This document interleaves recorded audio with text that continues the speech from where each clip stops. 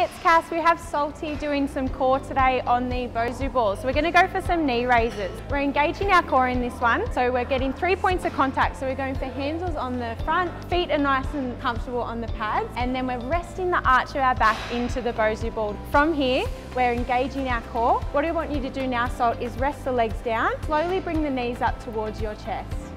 Nice, and then from there, hold a moment and then lowering back down. So from here, so as a progression, we can bring it into a leg raise.